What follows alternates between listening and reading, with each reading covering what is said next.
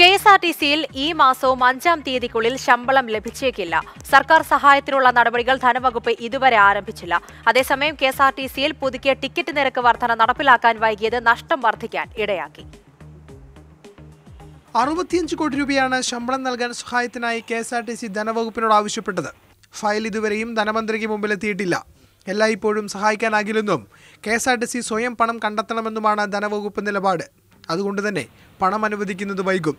എൺപത്തിരണ്ട് കോടി രൂപയാണ് ഇരുപത്തി അയ്യായിരത്തിലേറെ തൊഴിലാളികളുള്ള കെ എസ് ആർ ടി സിയിൽ ആകെ ശമ്പളത്തിനായി വേണ്ടത്.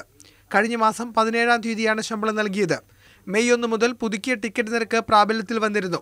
K S R T C ordinary ബസ്സുകളിൽ പുതുക്കിയ നിരക്ക് ഈടാക്കി തുടങ്ങിയെങ്കിലും ഫാസ്റ്റ് പാസഞ്ചർ സൂപ്പർ ഫാസ്റ്റ് അടക്കമുള്ള ബസ്സുകളിൽ നിരക്ക് വർധനവ് നടപ്പിലാക്കാൻ വൈകി.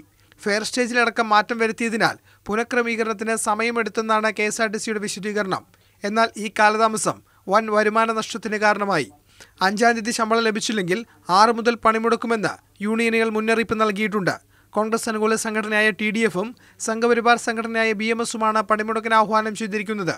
ശമ്പളം ലഭിച്ചില്ലെങ്കിൽ തുടർ സമര പരിപാടി ആലോചിച്ച് തീരുമാനിക്കുമെന്ന് സി ഐ ടിയും വ്യക്തമാക്കി. മാതൃഭൂമി ന്യൂസ് തിരുവനന്തപുരം.